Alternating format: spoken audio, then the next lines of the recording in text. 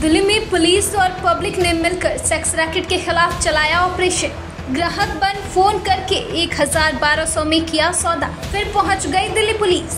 दिल्ली के Paschim Vihar B six में beat staff की मिली भगत से चल रहा था सेक्स रैकेट स्थानीय लोगों ने बाहरी जिला डीसीपी से गुहार लगाई।